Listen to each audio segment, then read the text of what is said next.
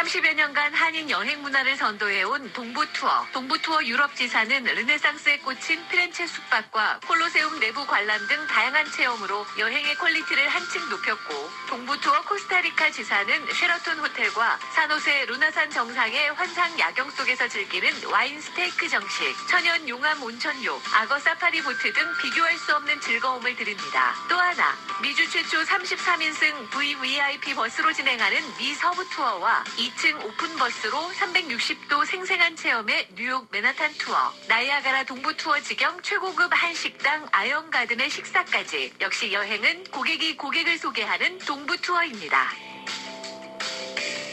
안내는 한인사회를 비롯한 비영리 기관, 기독교 등 종교기관의 모든 행사, 업소의 세일이나 비즈니스 소개로 이루어지며 하루 5차례, 재방송 포함 9차례 방송됩니다. 안내에 대한 문의나 신청은 718-358-9300, 718-358-9300으로 하시기 바랍니다. Voice of New York Radio Korea 안내를 마칩니다.